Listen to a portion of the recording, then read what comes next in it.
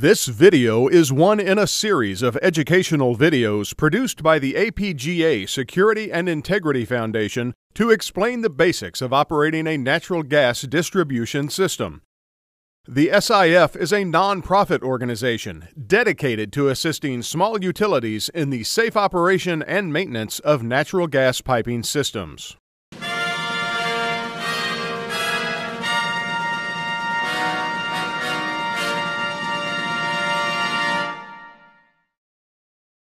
So you've got a gas stove, water heater, or heating system, and that little blue flame means the gas is flowing. But how did the gas get there?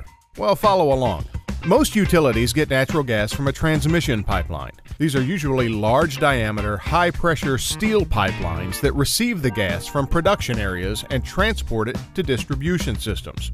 And according to the Pipeline and Hazardous Materials Safety Administration, there are about 300,000 miles of natural gas transmission pipelines in the U.S. alone.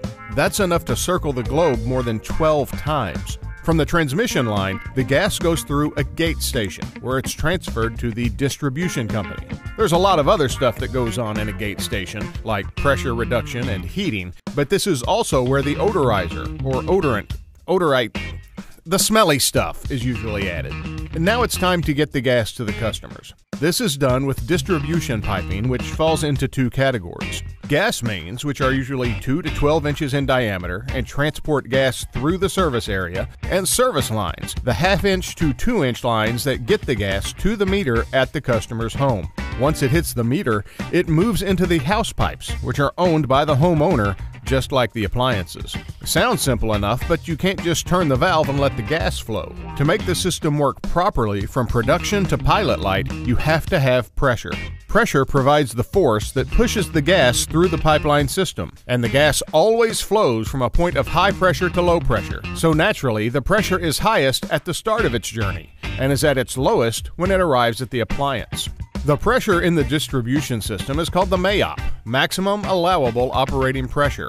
The MAOP is determined by the utility and is the pressure that cannot be exceeded without compromising the safety of the pipe.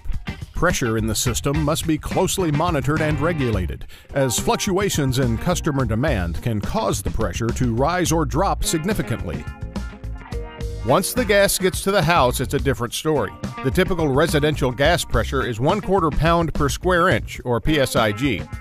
But for your appliances, the discussion turns to CFH, or cubic feet per hour, which is how gas flow is measured.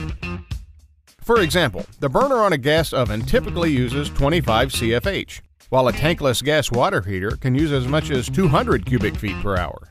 To keep the pressure in the house piping from dropping too low when an appliance is turned on, built-in pressure regulators open to allow more gas into the system. These pressure regulators are fully automatic and are powered by the gas pressure itself, so no electricity or other power source is required. That means the gas system will continue to operate even during a power failure. And that's it. The journey of natural gas from production point to under that pot of spaghetti on your stove. For more information, visit apgasif.org or follow us on Facebook and Twitter. And for a complete list of videos, go to apgasif.org slash gas operations safety orientation videos.